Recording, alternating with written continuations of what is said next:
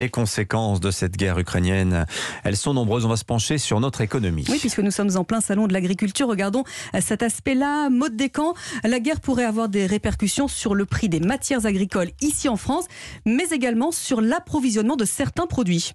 Oui, si la France n'importe et n'exporte que très peu de matières agricoles russes et ukrainiennes, le conflit qui oppose ces deux parties n'est pas sans impact sur le cours des céréales, notamment du blé. Le prix de la tonne de blé a atteint des records hier, plus de 340 euros du jamais vu.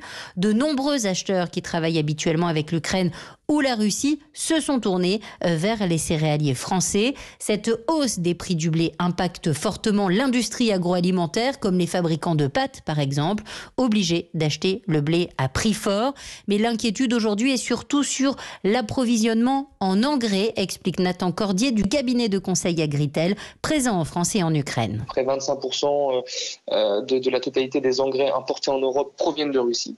donc on peut imaginer que des, sanctions soient prises aussi à l'encontre de l'Europe de la part de la Russie en limitant donc les flux et les exportations d'engrais vers le, vers le vieux continent. Autre impact à craindre, l'approvisionnement en huile de tournesol, majoritairement importée d'Ukraine et qui pourrait venir à manquer dans les prochains mois dans les rayons de nos supermarchés. Les précisions de Mode Camps pour Europe 1.